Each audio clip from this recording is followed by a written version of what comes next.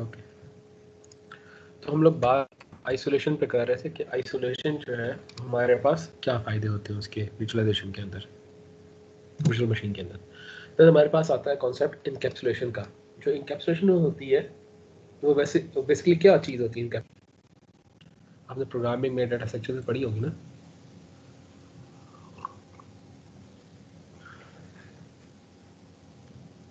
हाँ जी इनकेप्सुलेशन क्या चीज़ होती है? डाटा को सर इनकैप्सुलेट कर देता है। वो फिर रियल फॉर्म में नहीं होता है काइंड ऑफ़ एनकोडेड वगैरह चीज़ें ठीक हो गया ठीक हो गया बिल्कुल सही हो गया।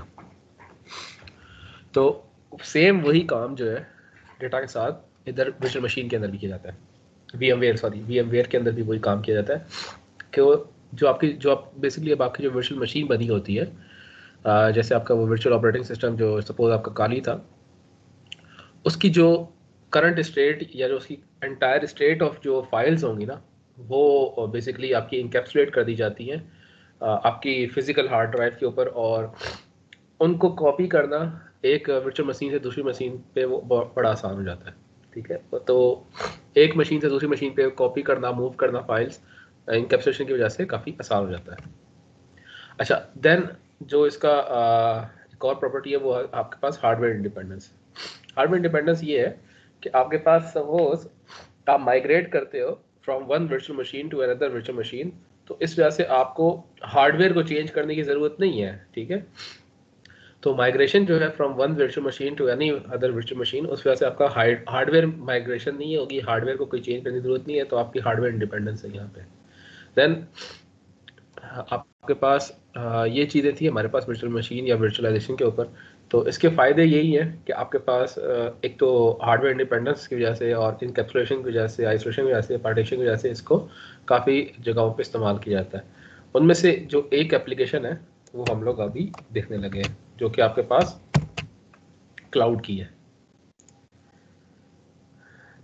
ठीक हो गया? उस वर्चुअलाइजेशन से कोई सवाल था? No. No sir cloud cloud की अगर बात करें तो क्लाउड वैसे क्या चीज़ है? क्लाउड कंप्यूटिंग की अगर बात करें तो क्लाउड क्या चीज़ होगी?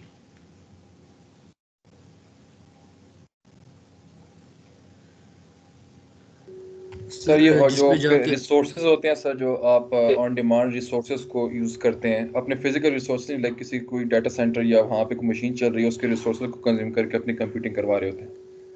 ठीक हो गया। और आदिल कुछ और कह रहे थे? यही सर बस जिधर हमारा डाटा वगैरह सारा स्टोर्ड होता है बेसिकली क्लाउड वही जगह होती है हमारे पास जिधर हमारे पास ऑपरेटिंग सिस्टम हमारा जाके कोई स्टोर करे वर्चुअली ठीक अच्छा सही हो गया। तो गिटहब एग्जांपल है सर क्लाउड की। गूगल हाँ। ड्राइव हो गया वन ड्राइव ऐसा ना आपकी ऐसा ना आपकी आवाज़ कट रही है? आ, सर फायरबेस भी वर्चुअलाइजेशन में ही होगी। एक मिनट एक मिनट ऐसा कुछ कह रहे हैं। सर ये जो हम जो यूज़ करते हैं गूगल ड्राइव हो गया वन ड्राइव और git git repositories cloud computing होती है जी जी बिल्कुल क्लाउड की ये क्लाउड स्टोरेज की सर्विसेज़ है। जी ठीक है क्लाउड स्टोरेज सर्विसेज़ है। हाँ आदिल आप कुछ कह रहे थे? यस सर सर ये फायरबेस भी बेसिकली क्लाउड स्टोरेज बेस ही होगी ना डेटाबेस हमारे पास? फायरबेस फायरबेस अच्छा वो वो जो आप लोग यूजुअली प्रोजेक्ट के अंदर इस्तेमाल करते हो। जी सर हाँ कह लाइक मतलब उसको कह सकते हैं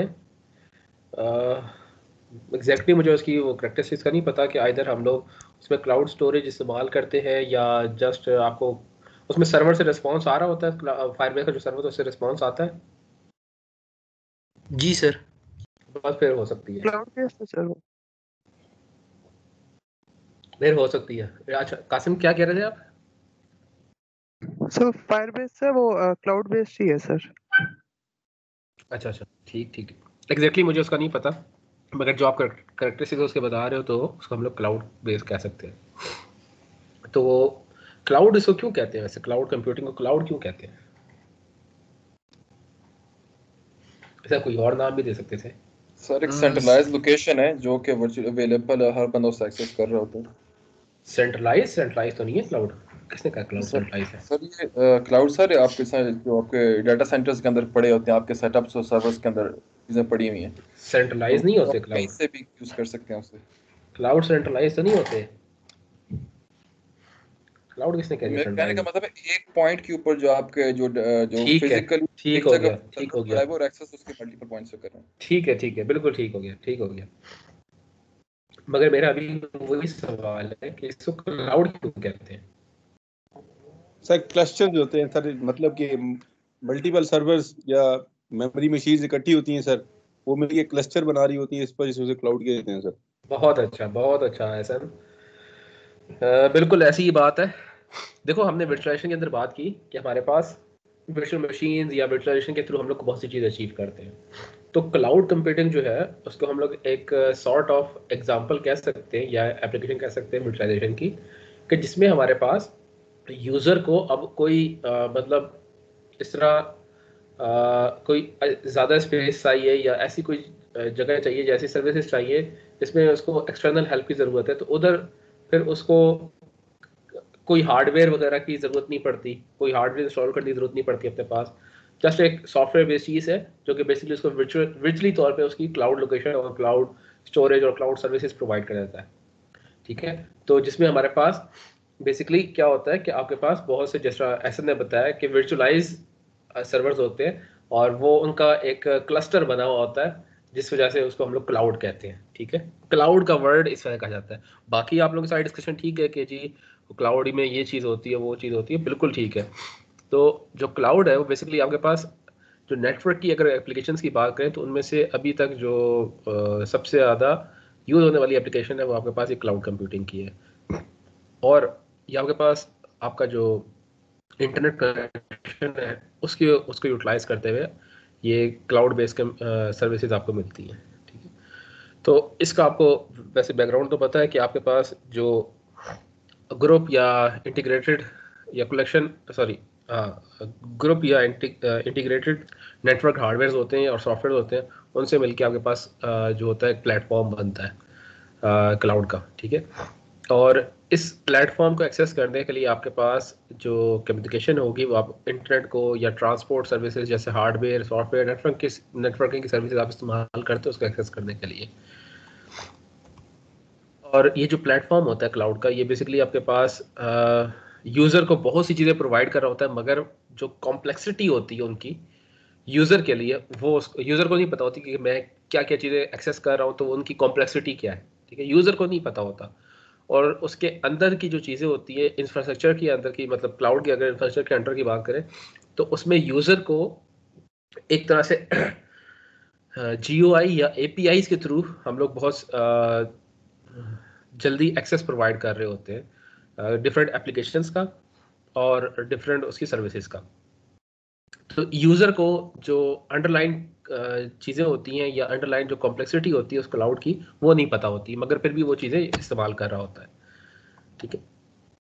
तो क्लाउड कंप्यूटिंग जो है वो बेसिकली यूज़र को क्या चीज़ें प्रोवाइड कर रहा है, वो बेसिकली उसको ऑन डिमांड सर्विसेज़ जो यूज़र जो यूज़र डिमांड करेगा, वो सर्विसेज़ उसको प्रोवाइड करेगा जिधर उसको चाहिए, जहाँ जिस मर्ज़ी टाइम या जिस मर्ज़ी प्लेस पर चाहिए तो उसको मिल जाएँगी।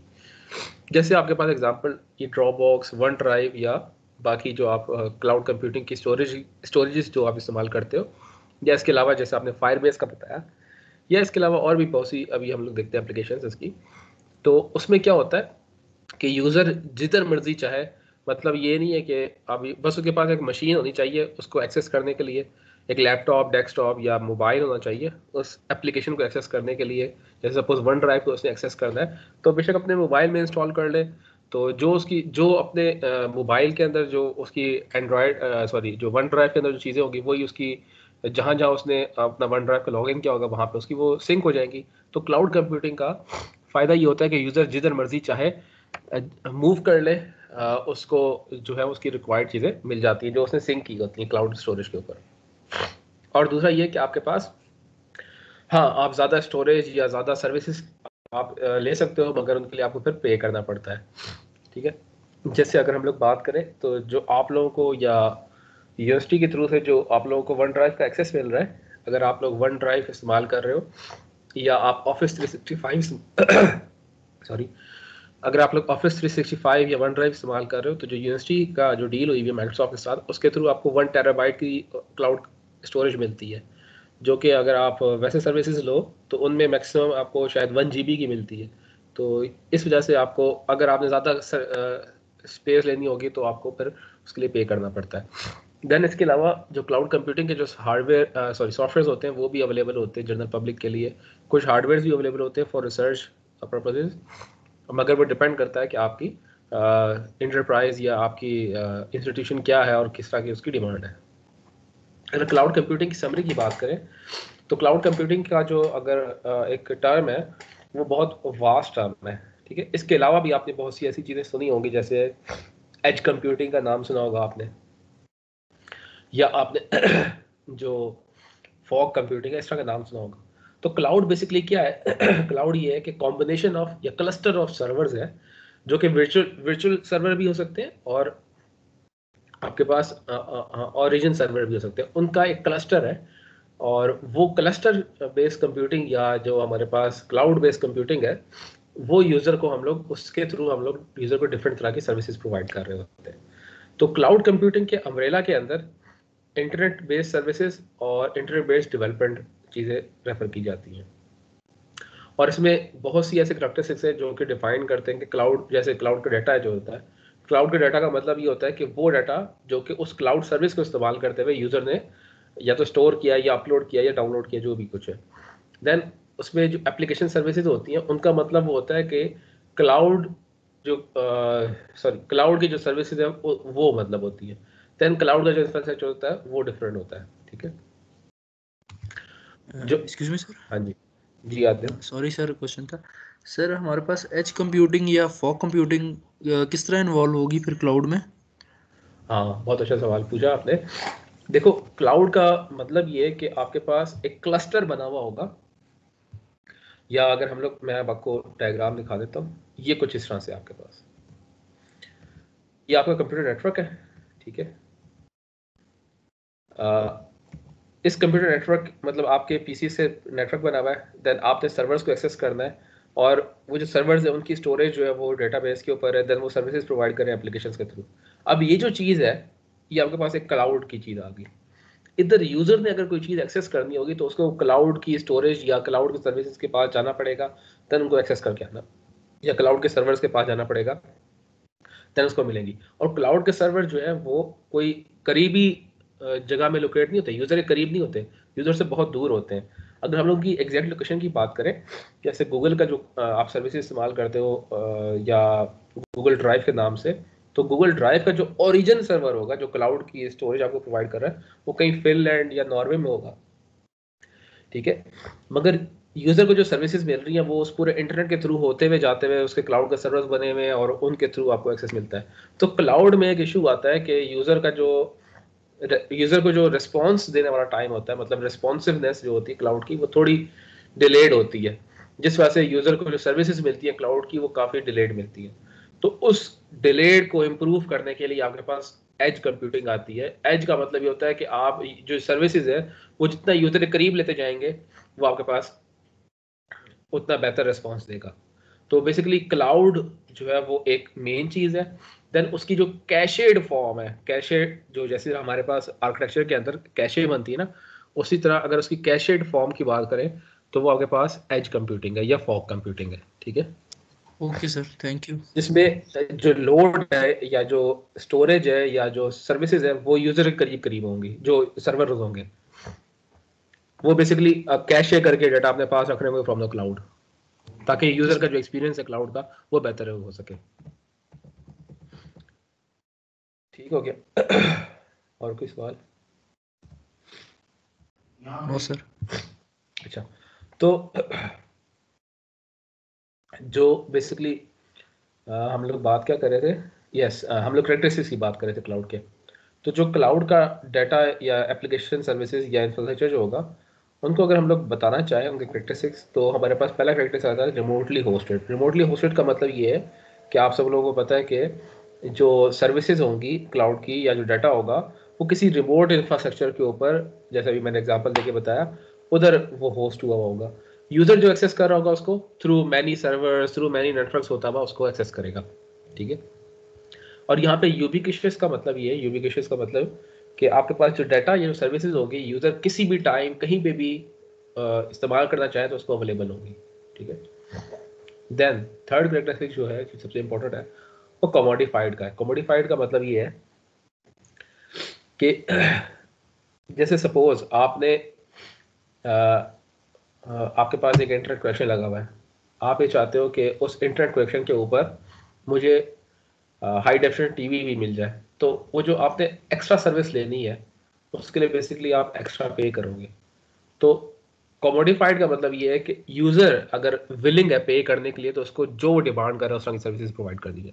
जैसे अब सपोज़ आप ये चाहते हो कि आपका जो ये क्लाउड सर्विसेज़ है ये अभी आपको सपोज़ uh, स्टोरेज दे रहे हैं वो वन जी की स्टोरेज दे रहे हैं। आप चाहते हो कि ये मेरी स्टोरेज जो है वो बढ़ जाए और ये मेरी स्टोरेज बढ़ के जो है वो टेन जी बी भी जाए। और सिर्फ़ मुझे ना मिले आ, मेरे जैसे चार यूज़र्स को और को मिल जाए। तो बेसिकली आप जो होगे वो बाय कर रहे होगे कोई प्लान या कोई स्टोरेज सर्विस बाय कर रहे होगे from the storage manufacture suppose Google drive से आप बाय कर रहे हो तो आप सपोज़ कहते हो कि सिर्फ़ मुझे नहीं चाहिए, मेरे चार और लोगों को चाहिए तो हम विलिंग है पे करने के लिए। तो इस तरह की जो सर्विसेज़ होंगी, वो आपके पास कोपोटिफाइड खिलाती हैं। देन इसके अलावा भी आप सर्विसेज़ ले सकते हो, अगर आप पे हो सॉरी आप विलिंग हो पे करने के लिए, उन सर्विसेज़ के लिए। तो अभी तक जो हमने डिस्कशन की, उसके मुताबिक क्लाउड कंप्यूटिंग कुछ इस तरह से बनता है कि आपके पास जो कंप्यूटिंग रिसोर्सेज या जो कंप्यूटिंग की सर्विसेज़ है उनका एक पूल शेयर्ड पूल है, जहाँ पे यूज़र जो है वो उन कंप्यूटिंग रिसोर्सेज को यूटिलाइज भी कर सकते हैं। चाहे वो सर्विसेज़ हो, चाहे वो डाटा हो, चाहे वो सर्वर हो, उनको यूटिलाइज करना चाहें। जैसे फायर बेस आपने बताया या ऐसी बहुत सी एग्जांपल्स हैं जो कि सर्विसेज़ प्रोवाइड करती हैं यूज़र के लिए क्लाउड की, ठीक है? देन ये जो सारी चीज़ें होंगी, इनको प्रोविज़न करेगा कोई सर्विस प्रोवाइडर जैसे गूगल है वो गूगल ड्राइव की सर्विसेज़ प्रोवाइड कर रहा है माइक्रोसॉफ्ट है वन ड्राइव की प्रोवाइड कर रहा है, और ऐसे जो है कोई सर्विस प्रोवाइडर जो होंगे वो इनको प्रोविज़न करेंगे इन सर्विसेज़ को। तो अगर इनके करेक्टरिस्टिक्स की बात करें, कुछ हमारे पास कॉमन करेक्टरिस्टिक्स होंगे क्लाउड कंप्यूटिंग के, कुछ हमारे पास जो होंगे वो बेसिक या एसेंशियल करेक्टरिस्टिक्स होंगे। जो कॉमन करेक्टरिस्टिक्स होंगे, वो आपके पास पहली चीज़ तो यह कि मैसिव स्केल मैसिव स्केल का मतलब ये कि यहाँ पे बहुत ज़्यादा यूज़र्स जो है, वो अपने यहाँ पे अकोमोडेट किए जा सकते होमोजिनिटी का मतलब ये है कि यहाँ पे एक जैसे यूज़र्स होंगे, ठीक है? या एक जैसी सर्विसेज़ प्रोवाइड की जाएँगी। वर्चुअलाइजेशन यहाँ पे होगी लो कॉस्ट सॉफ्टवेयर होगा। ये इसके कॉमन प्रैक्टिस है। देन उसके बाद जोग्राफिक डिस्ट्रीब्यूशन का मतलब ये है कि ये कहीं एक सेंट्रल डेटाबेस नहीं होगा। ये जोग्राफिकल तौर पर डिस्ट्रीब्यूटेड डेटाबेस होगा, अगर डेटाबेस के हवाले से बात करें। देन हमारे पास यहाँ पे जो चीज़ें होंगी, वो सर्विस ओरिएंटेड चीज़ें होंगी और यहाँ पे सिक्योरिटी जो है, ये जो चीज़ है, ये आपके पास सिंपल अब सिक्योरिटी नहीं होगी यहाँ पे। जैसे आप, सपोज़ वो हम लोगों ने नेटवर्क से निकाला कि वो डेस या ए या इस तरह की हमने की डिस्ट्रीब्यूशन आर्किटेक्चर देखे थे तो यहाँ पे आप कुछ एडवांस लेवल सिक्योरिटीज़ की बात करेंगे, यहाँ पे जो आपने सिक्योर सर्विसेज़ प्रोवाइड करनी है यूज़र को, यहाँ पे क्योंकि आपके अब ह्यूज नंबर ऑफ़ यूज़र्स हैं और आपके जो सर्विसेज़ फैली हैं वो काफ़ी ज़्यादा स्केल के ऊपर फैली एक मिनट दे मुझे कॉल आ रही है।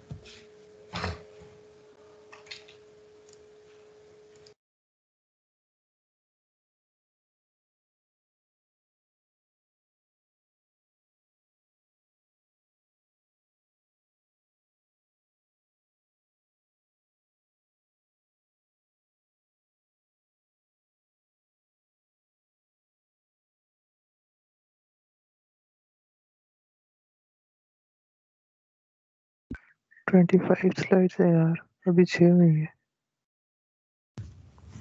कोई बात नहीं भाई आखिरी क्लास है यार एंजॉय करो इसको फिर आप इसके बाद। कोई क्लास नहीं लोगे ग्रेजुएट हो जाओगे। इंशाल्लाह। अल्लाह बात करे। एनर्जी खत्म हो गई है। बिल्कुल भाई। ओ यार आखिरी दिनों में दिल ही नहीं करता पढ़ने का यार। बस ऐसा ही है।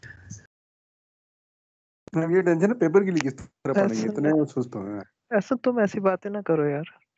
तुम नहीं पढ़ते तो एहसन थीसिस कर दिया या नहीं? अपलोड कर दिया? मैंने तो कोशिश दिन कर दिया था। क्यों? आपने नहीं किया मौलवी साहब? अब ये अगर रिकॉर्ड नहीं एसएन क्या हो गया? सर एसएन को थीसिस की टेंशन हुई हुई है। अच्छा अच्छा। तो अभी तो बात करते हैं, अभी क्लास खत्म कर लें, उसके बाद देन इसके अलावा हमारे पास जो क्लाउड की एसेंशियल सर्विसेज़ होंगी, उनमें आपके पास रिसोर्स पूलिंग और ब्रॉडबैंड नेटवर्क एक्सेस या ऑन डिमांड सेल्फ सर्विसेज़ होगी। देन क्लाउड के अगर सर्विस मॉडल्स की बात करें तो हमारे पास क्लाउड जो सर्विसेज़ है, वो दो तरह के मॉडल्स पे होती हैं। हमारे पास एप्लीकेशन ऐसा सर्विस होती है या इंफ्रास्ट्रक्चर ऐसा सर्विस होती है। और तीसरा हमारे पास प्लेटफॉर्म ऐसा सर्विस होता है। तो तीन तरह के यहाँ पे हम लोग सर्विसेज़ मॉडल इस्तेमाल करते हैं। जो इंफ्रास्ट्रक्चर बेस्ड सर्विसेज़ होगी, उनके अंदर जैसे आप देख सकते हो कि कंप्यूटिंग रिसोर्सेज अगर आपने इस्तेमाल करनी हो क्लाउड की तो वो आ सकती है, ठीक है? प्लेटफॉर्म सर्विस के अंदर आपने जैसे सपोज़ कोई कस्टमर ने कोई एप्लीकेशन बनानी है, जैसे गूगल के अंदर सॉरी गूगल ऐप है या विंडोज़ अजूर था अजूर उसमें जो है वो platform as a service then हमारे पास सॉफ्टवेयर सर्विस जो है, उसके अंदर आप जो बेसिकली स्टोरेज सर्विसेज़ और इस तरह की चीज़ें प्रोवाइड कर रहे होते हो तो हमारे पास ये तीन तरह की सर्विस मॉडल्स होते हैं। तो तीन तरह की बेसिक सर्विस हम लोग क्लाउड के अंदर प्रोवाइड करते हैं। अगर क्लाउड कंप्यूटिंग की लेयर्स की बात करें तो हमारे पास चार लेयर्स हैं। पहली जो लेयर है, वो हमारे पास कहलाती है, सबसे टॉप मोस्ट होती है एप्लीकेशन सर्विस कहलाती है, जिसको हम लोग सॉफ्टवेयर सर्विस भी कहते हैं। इसके अंदर हमारे पास जैसे यूज़र्स जो एप्लीकेशन यूज़ करनी होती है, वो आपने प्रोवाइड करनी होती है। थर्ड जो हमारे पास एप्लीकेशन प्लेटफॉर्म होता है एप्लीकेशन प्लेटफॉर्म ये कि कौन सी मैन्युफैक्चर आपने प्रोवाइड करना है। देन सर्वर प्लेटफॉर्म होता है सर्वर प्लेटफॉर्म में आपने इस तरह होता है कि आपने कौन सा सर्वर इस्तेमाल किया है, ताकि यूज़र को उतना अच्छा एक्सपीरियंस मिले। देन आखिरी जो हमारे पास स्टोरेज प्लेटफॉर्म्स होते हैं, जैसे आप देख सकते हो जो आपको मिलते हैं क्लाउड सर्विसेज़ के स्टोरेज प्लेटफॉर्म्स अच्छा। देन अगर सर्विस लेयर्स की बात करें तो हमारे पास दो फोकस होते हैं सर्विस लेयर्स के। पहला हमारे पास कहलाता है एप्लीकेशन फोकस और दूसरा आपके पास इंफ्रास्ट्रक्चर फोकस कहलाता है। जो एप्लीकेशन फोकस होता है, उसमें हमारे पास सर्विसेज़ होती है एप्लीकेशन होती है और डेवलपमेंट होती है एप्लीकेशन जबकि इंफ्रास्ट्रक्चर होता है, उसमें हमारे पास प्लेटफॉर्म बेस्ड सर्विसेज़ होती हैं स्टोरेज सर्विसेज़ होती हैं और होस्ट सर्विसेज़ होती हैं। होस्ट सर्विस वो होगी कि जैसे आपके पास फ़िज़िकल डाटा सेंटर्स जो होंगे, वो रन कर रहे होंगे किसी एक होस्ट हो, जो मैन्युफैक्चर है उनका। जबकि स्टोरेज के अंदर जो होंगे, जो डेटा स्टोरेज बेस्ड सर्विसेज़ होंगी, वो आप प्रोवाइड कर रहे होंगे। प्लेटफॉर्म जो होगा, जो अगर इंफ्रास्ट्रक्चर फोकस सर्विसेज़ की बात करें प्लेटफॉर्म के अंदर बेसिकली आप क्लाउड कंप्यूटिंग के प्लेटफॉर्म प्रोवाइड कर रहे होंगे ताकि आपको वर्चुअलाइजेशन जैसी चीज़ें मिलें। अगर एप्लीकेशन की फोकस की बात करें तो एप्लीकेशन फोकस के अंदर आपके पास जो सर्विसेज़ मिलेंगी, वो आपके पास जैसे गूगल मैप्स की सर्विसेज़ है। या ऐसे और पेपॉल की सर्विसेज़ है, वो आपके पास क्लाउड कंप्यूटिंग की सर्विसेज़ है। वो आप बेसिकली आपके पास एप्लीकेशन के एस्पेक्ट से है। देन उन एप्लीकेशन को जो है, वो क्लाउड बेस्ड जो सॉफ्टवेयर होंगे, वो बेसिकली उसकी लोकल इंस्टॉलेशन जो है, जैसे गूगल एप्स है या माइक्रोसॉफ्ट के जो है, वो आपके पास उनकी लोकल इंस्टॉलेशन जो है, वो आपको उनकी नहीं करनी पड़ती। वो बस सर्वर्स के ऊपर इंस्टॉल होती है और देन आप उनको एक्सेस करते हो। ठीक है? अच्छा बेसिक क्लाउड कंप्यूटिंग की अगर प्रैक्टिस की बात करें तो यूज़र को तो सिर्फ़ ए पी के थ्रू उन चीज़ों का पता चलता है। यूज़र को जो अंडरलाइन चीज़ें होती हैं, उनका नहीं पता होता। दूसरा ये कि जो क्लाउड कंप्यूटिंग है, उधर आप मल्टीपल रिसोर्सेज और मल्टीपल जो चीज़ें होती हैं, उनको आप ऐड कर सकते हो। तो इस वजह से आपके पास ये जो आर्किटेक्चर होता है, ये फ्लेक्सिबल होता है और इलास्टिक होता है। जितनी मर्ज़ी आप चाहे चीज़ें इसमें ऐड कर लो यूज़र जितनी डिमांड करेगा, उतनी उसको रिसोर्सेज मिलती जाएगी। ठीक है? अच्छा जो क्लाउड है, वो ट्रांसपेरेंट है टू यूज़र और उसकी एप्लीकेशन के लिए। क्योंकि यूज़र को तो नहीं पता होता यूज़र को तो जस्ट उसकी सर्विसेज़ या उसकी एप्लीकेशन मिल रही होती हैं, ठीक है? देन इसका जो अगर प्लेटफॉर्म की बात करें तो ये ओपन सोर्स होता है। इसमें आप डेवलपर कंटेंट आप देख सकते हो जो क्लाउड कंप्यूटिंग सर्विसेज़ होती हैं। अगर इसकी कमर्शियल ऑफरिंग्स की बात करें तो आप देख सकते हो कि जो अमेज़ॉन वेब सर्विसेज़ हैं अमेज़ॉन ई टू के नाम से, वो है, ठीक है, जो कमर्शियल एप्लीकेशन है। देन उसके बाद सन सिस्टम्स का है थ्री टेरा वालों का है इंजन यार्ड वालों का है, इसी तरह और भी ऐसी हैं जो कि आपके पास कमर्शियल क्लाउड ऑफरिंग्स होती हैं। ये वो है जो आपके पास इंफ्रास्ट्रक्चर बेस्ड सर्विसेज़ हैं, जिसमें आप इनके रिसोर्सेज को इस्तेमाल करते हुए अपनी कोई चीज़ें एग्जीक्यूट करवा सकते हैं उनके ऊपर।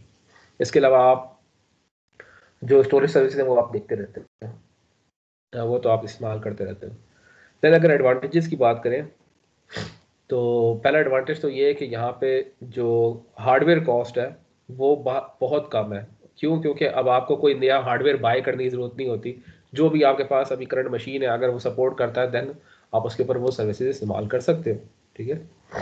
देन अगर बात करें परफॉर्मेंस की तो यूज़र का जो एक्सपीरियंस होता है वो काफ़ी बेहतर होता है इसके ऊपर। क्यों यूज़र जहाँ मर्ज़ी चाहे मूव करे उसको कोई नया सॉफ्टवेयर इंस्टॉल करने की ज़रूरत नहीं पड़ती जस्ट उसको लॉग इन या क्रेडेंशियल के थ्रू वो चीज़ें एक्सेस कर सकता है अपनी। और जो परफॉर्मेंस अगर कंप्यूटर्स के बारे से बात करें तो ये जो क्लाउड कंप्यूटिंग के सर्वर्स होते हैं या क्लाउड कंप्यूटिंग की जो मशीन होती हैं, वो काफ़ी हाई स्पीड रखी जाती है ताकि आपके पास जो यूज़र है, उनकी जो रिक्वेस्ट है, उनको जल्दी से जल्दी प्रोसेस किया जा सके। तो यहाँ पे जो परफॉर्मेंस है, वो काफ़ी ज़्यादा बेहतर होती है। देन अगर आप में से किसी ने प्लान्स वगैरह बाय की हो या अगर बाय करने का कोई आ, कभी देखा हो जैसे स्टोरेज प्लान होते हैं तो उस पर आप देख सकते हो कि अगर आप मल्टीपल यूज़र्स के लिए वो प्लान बाय करोगे तो आपकी जो कॉस्ट होती है वो कम से कम होती जाती है। ठीक है? तो जो इसके सॉफ्टवेयर जो है वो अगर आपने बाय करना चाहो तो उसकी जो कॉस्ट होती है सिंगल लाइसेंस की कॉस्ट ज़्यादा होती है मल्टीपल लाइसेंसेस की कॉस्ट कम होती है। देन यहाँ पे जो अगर कोई आपका सपोज़ जो इंफ्रास्ट्रक्चर प्रोवाइडर है या जो क्लाउड सर्विस प्रोवाइडर है, अगर वो कोई अपनी इंफ्रास्ट्रक्चर के अंदर कोई अपडेट लेकर आता है या बेसिकली आपके यूज़र के हवाले से कोई नई सर्विस उसने ऐड की है तो अगर उसकी कोई अपडेट मतलब उसने अपडेट की है या कोई ऐड की है तो आपका जो सॉफ्टवेयर होता है यूज़र एंड के ऊपर वो वो इंस्टेंटली तौर पे अपडेट हो जाता है। और यूज़र को जो है वो उन एप्लीकेशन का जो लेटेस्ट वर्जन होता है वो मिलता है, ठीक है? तो यूज़र को अपग्रेड करने की ज़रूरत नहीं पड़ती, वरना इससे इसके अलावा जो सर्विस उसमें यूज़र को अपग्रेड करने की ज़रूरत पड़ती है। देन इसमें जो है कॉम्पेटिबिलिटी का कोई ऐसा इशू नहीं होता। कॉम्पेटिबिलिटी का इशू जो है, वो इससे पहले अगर आप बात करें वर्चुअलाइजेशन के अंदर इशू आता था। अगर आपने वी एम वेयर इस्तेमाल किया है तो उधर एक इशू ये आता है, अगर आप सपोज़ लिनक्स के अंदर हो, अब तो वो इशू को हल कर दिया गया है। आज से कोई दस बारह साल पहले की बात कर रहा हूँ। कि अगर आप लिनक्स को इस्तेमाल कर रहे हो वी एम वेयर के ऊपर, और उधर आपने कोई उनका जो ओपन ऑफ़िस होता है, अगर आपने उसको इस्तेमाल किया है देन आप वही जो फ़ाइल है जो आपने सपोज़ उधर ओपन ऑफ़िस की वर्ड के अंदर इस्तेमाल की तो आप अगर माइक्रोसॉफ्ट के वर्ड के अंदर इस्तेमाल करना चाहोगे तो वो ओपन नहीं होती थी, या इंक्रिप्टेड थी, या इस तरह के इश्यूज़ आप यूज़र को फेस करने पड़ते थे। तो क्लाउड कंप्यूटिंग में ऐसा कोई इशू नहीं होता क्लाउड सर्विसेज़ के अंदर। जो भी डॉक्यूमेंट होती है, वो एक कॉम्पेटेबल फॉर्मेट के अंदर होती है। और वो मल्टीपल ऑपरेटिंग सिस्टम या मल्टीपल यूज़र एप्लीकेशन के ऊपर एक एक ही तरह की रन होगी। तो यूज़र को उधर वो फॉर्मेटिंग या फॉर्मेट कॉम्पेटेबिलिटी के ऊपर कोई इस तरह का इशू फेस नहीं करना पड़ता। देन यहाँ पे एक और चीज़ है जो उसका एडवांटेज है वो ये है कि जो स्टोरेज है वो बहुत ज़्यादा प्रोवाइड की जाती है यूज़र को। क्लाउड कंप्यूटिंग की कुछ सर्विसेज़ जो है वो वर्चुअली तौर पे यूज़र को वन टेराबाइट तक की वर्चुअल स्टोरेज प्रोवाइड करती हैं। ठीक है? और अगर सिक्योरिटी की सर्विसेज़ की बात करें तो इसने काफ़ी सिक्योर आर्किटेक्चर क्लाउड कंप्यूटिंग के ऊपर इस्तेमाल किया है देन यूनिवर्सल डॉक्यूमेंट एक्सेस वही कि आप जहाँ मर्ज़ी जाओ, आपको इंस्टेंटली तौर पे वो डॉक्यूमेंट आपका अवेलेबल होगा आपने उसको सिंक किया हुआ तो। देन लेटेस्ट वर्जन अवेलेबिलिटी हमने अभी डिस्कस कर ली है। ये डॉक्यूमेंट्स के वाले से भी बात है और आपके पास सपोज़ अगर आप कोई डॉक्यूमेंट के अंदर एडिट करते हो तो जो उसका जो आपने एडिट किया होगा और वो सिंक किया होगा देन उसका जो लेटेस्ट वर्जन होगा, जब आप किसी और मशीन पर लॉगिन करोगे तो वो आपके पास उसी टाइम पे अवेलेबल होगा। देन ग्रुप कोलाब्रेशन भी जो है वो काफ़ी आसान होता है कि अगर सपोज़ जैसे क्लास में हम लोग क्या करते हैं, इधर माइक्रोसॉफ्ट टीम जो है, उस पर मैं आप लोगों के साथ एक डॉक्यूमेंट शेयर कर देता होता हूँ। तो मल्टीपल यूज़र्स जो होते हैं वो आसानी से कोलाबरेट भी कर सकते हैं। मैं इधर अगर आपका लॉगिन आईडी बना हो तो मैं आपको आसानी से सर्च करके तो कोलाबरेट कर सकता हूँ। आपके साथ कोई डॉक्यूमेंट शेयर करना हो, कोई प्रोजेक्ट शेयर करना हो तो आसानी से हो सकता है। देन डिवाइस इंडिपेंडेंस की बात करें तो आपको अब एक सिंगल कंप्यूटर या सिंगल नेटवर्क की ज़रूरत नहीं पड़ती। आप जहाँ मर्ज़ी चाहे रोम करो, आपको एक्सेस मिल सकता है सर्विसेज़ का। अच्छा ये तो कुछ इसके एडवांटेजेस थे अब इसके अगर डिसएडवांटेज की बात करें तो पहला डिसएडवांटेज ये कि आपको यहाँ पे एक कांस्टेंट इंटरनेट कनेक्शन चाहिए होता है। कॉन्स्टेंटली तौर पे यूज़र को अगर उसने क्लाउड सर्विसेज़ लेनी है, पहला चीज़ तो ये अगर उसका इंटरनेट कनेक्शन डिस्कनेक्ट हो जाएगा तो उसको क्लाउड की सर्विसेज़ नहीं मिलेंगी। दूसरा उसका डिसएडवांटेज ये है कि जो क्लाउड कंप्यूटिंग की सर्विसेज़ हैं, अगर आपका लोड स्पीड कनेक्शन होगा तो उस पर ये अच्छा भी काम नहीं करती, बल्कि काम ही नहीं करती। क्योंकि क्लाउड जो है वो बेसिकली यूज़र से काफ़ी दूर लोकेटेड है। इस वजह से आपके पास जो क्लाउड कंप्यूटिंग की सर्विसेज़ होती हैं, वो लो इंटरनेट कनेक्शन के ऊपर काम नहीं करती। या अगर डॉक्यूमेंट आपने डाउनलोड करनी है तो काफ़ी ज़्यादा टाइम लेती है, बहुत ज़्यादा बैंडविड्थ और बहुत ज़्यादा टाइम लेती है। देन इसमें कुछ और इश्यूज़ भी है कि इसके जो फ्री बेसिकली जो फीचर्स होते हैं, वो बहुत लिमिटेड होते हैं। हाँ आप इसको बाय करके देन उसमें अनलिमिटेड फीचर्स आप ले सकते हो। और जैसे मैंने बताया क्योंकि ऐसे क्लाउड के जो सर्वर्स होते हैं, काफ़ी दूर लोकेटेड होते हैं। इस वजह से जो क्लाउड का जो रिस्पॉन्स होता है, वो यूज़र को बहुत स्लो होता है। अगर आपका इंटरनेट कनेक्शन बेहतर हो, फिर भी अगर नंबर ऑफ़ यूज़र एक एक दफ़ा क्लाउड के ऊपर काफ़ी ज़्यादा आ जाए तो वो क्लाउड सर्विसेज़ को काफ़ी हद तक जो है वो डिले में लेके जा सकते हैं।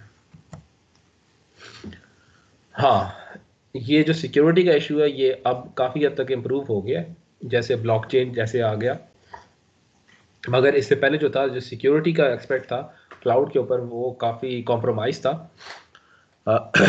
जो आपकी क्लाउड कंप्यूटिंग के जो डेटाबेसेस थे या जो स्टोरेज प्रोवाइडर थे उनको काफ़ी ज़्यादा ये इशू फेस करना पड़ा था सिक्योरिटी का कि यूज़र का जो डाटा था कॉन्फिडेंशियली तौर पे वो लीक हो जा सकता था। और अनऑथराइज जो यूज़र एक्सेस था वो काफ़ी आसानी से उनको एक्सेस कर सकता था। मगर अब ब्लॉकचेन की वजह से ये जो चीज़ है वो काफ़ी ज़्यादा सिक्योर हो गई है। और लॉस भी हो सकता था डाटा आपका, कि अगर आपने तो सपोज़ ये अभी भी आपके साथ इशू हो सकता है, कि अब सपोज़ आपने एक डॉक्यूमेंट है, काफ़ी इंपॉर्टेंट डॉक्यूमेंट था, आपने उसको सेव किया मगर आप उसको सिंक करना भूल गए, या आपका इंटरनेट कनेक्शन जो था वो उस टाइम डेड हो गया, मगर आपको यूज़र को ये लगा कि वो सपोज़ सिंक हो गया या सिंक उसने करना भूल गया तो इस केस के अंदर अगर यूज़र भूल गया है तो क्लाउड की कोई ऐसी सर्विस नहीं है कि यूज़र को याद करवा सके कि आपने ये सिंक नहीं किया। तो जो यूज़र का जो डाटा है, वो जो उसने स्टोर किया होगा, वो लॉस भी हो सकता है। बेशक उस टाइम पे उसने सिंक ना किया, और या सिंक करना भूल गया हो, या उसका अगर सिंक कर रहा था तो उसका कनेक्शन डेड हो गया तो यूज़र को तो नहीं पता चलेगा। यूज़र को कोई इन्फॉर्मेशन नहीं पता चलती, ना फीडबैक आता कि आपका जो ये फ़ाइल है, ये सिंक हो गई है या नहीं हुई, या उस तरह कोई रिमाइंडर नहीं आता। तो जो जो स्टोरेज ऑफ़ डाटा है, वो लॉस भी हो सकती है। या अगर सपोज़ आप, आपने सिंक किया हुआ था डाटा आपने उसको जस्ट सिंपल डिलेट डेल कर दिया तो वो अपने पास कोई बैकअप नहीं रखता यहाँ पे क्लाउड ठीक है? जो डेल हो गया एक दफ़ा डाटा वो फिर गया वो। आप उसके पास कहीं पे भी कोई बैकअप नहीं होता। अच्छा जो एक और डिसएडवांटेज है, जो कि बेसिकली रिलेटेड है हमारे पास इस कोर्स से, वो है कि यहाँ पे जो हाई परफॉर्मेंस सिस्टम्स जो होते हैं हाई परफॉर्मेंस कंप्यूटिंग सिस्टम्स जो होते हैं उनके जो कंप्यूटेशनल इंटेंसिव टास्क होते हैं, उनको हम लोग क्लाउड पे रन नहीं कर सकते क्यों? क्योंकि अभी भी नो डाउट काफ़ी बेहतर सिस्टम्स जो है, वो क्लाउड सर्विसेज़ प्रोवाइड कर रहे हैं, मगर क्लाउड फार अवे होने की वजह से जो कंप्यूटेशनल इंटेंसिव टास्क होते हैं हाई परफॉर्मेंस कंप्यूटिंग के, वो हम लोग, या जैसे हम लोग ओपन एम पी कूडा या एम पी आई की बात करें इस तरह की एप्लीकेशन जो है, जो पैरल एप्लीकेशन है, या कंप्यूटेशनल इंटेंसिव टास्क जो है, वो हम लोग अभी भी क्लाउड कंप्यूटिंग पे इस्तेमाल नहीं कर सकते। अच्छा पब्लिक का जो कंसर्न है अभी तक, वो यही है कि मे बी ये इनसिक्योर है मे बी हमें जो सर्विसेज़ मिल रही हैं, वो लॉस हो सके। तो अभी भी जनरल कंसर्न जो है, वो इसके ऊपर अराइज हो रहे हैं स्पेशली वो जो अमेजोन के साथ एक दफ़ा मसला हुआ था कि उधर उन्होंने अपना डेटाबेस सिस्टम लगा दिया था अमेजोन ने, जबकि SQL नहीं था उनके पास। तो उधर वर्क फ्लो सिस्टम का जो काफ़ी popular system out of order आया था तो वो हमारे पास जल जनरल पब्लिक का कंसर्न था। अच्छा अगर क्लाउड की अगर बात करें, इसका फ्यूचर की बात करें तो जैसे मैंने बीच में क्लास के बीच में बताया क्लाउड की जो सर्विसेज़ हैं, उनको, उनका परफॉर्मेंस इंप्रूव करने के लिए, उनके डिफरेंट एस्पेक्ट्स इंप्रूव करने के लिए हमारे पास ग्रिड कंप्यूटिंग के नाम से लेटेस्ट रिसर्च चल रही है, या फ्रॉग कंप्यूटिंग के नाम से, या आपके पास एच कंप्यूटिंग के नाम से काफ़ी अभी इसमें काम चल रहा है, जो कि इसकी परफॉर्मेंस को और इसकी सिक्योरिटी को काफ़ी हद तक इम्प्रूव करते जा रहे हैं। तो ये था हमारा क्लाउड कंप्यूटिंग और वर्चुअलाइजेशन के ऊपर लेक्चर तो इस वाले से अगर आपका कोई सवाल है तो आप अभी पूछ सकते हो। सर एक जनरल क्वेश्चन है।